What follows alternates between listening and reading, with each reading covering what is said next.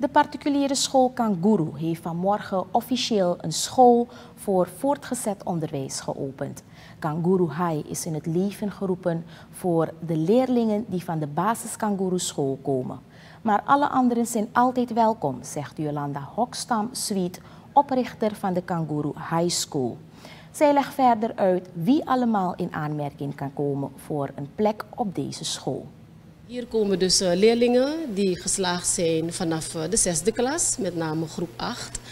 En um, die mogen dus uh, hier bij ons komen als ze dus met het MULO-advies de basisschool verlaten. Dan komen ze dus in de onderbouw van het HAVO. En de onderbouw telt dus vijf jaar en de bovenbouw telt dus zes jaren. Dus je hebt kinderen die na een aantal jaren de HAVO doen. Die kinderen doen het in vijf jaar. En de kinderen die naar het VWO gaan, die doen het dan in zes jaren. Um, het is een uh, voortgezet onderwijsschool, een Surinaamse particuliere school die wij dus uh, hier hebben. En we hebben dus een, uh, een hele goede samenwerking met, uh, met een van onze partners in Nederland. En dat is dan de NHL Stenden Hogeschool.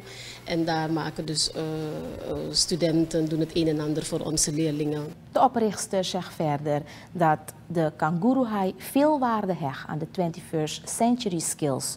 Oftewel lesgeven aan de hand van vaardigheden van de 21ste eeuw. Zo kunnen de leerlingen die van High slagen makkelijk aansluiten op een opleiding in het buitenland. Want deze 21ste vaardigheden die zullen dus uh, in onze leefhuizen worden aangeboden aan onze leerlingen.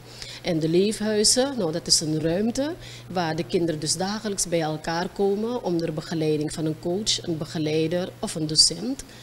En uh, in het leefhuis kunnen kinderen dus werken aan verschillende projecten, communities. Ze krijgen verschillende opdrachten. Ze werken aan uh, verschillende onderdelen als leren, leren, omgangskunde, 21ste eeuwse vaardigheden.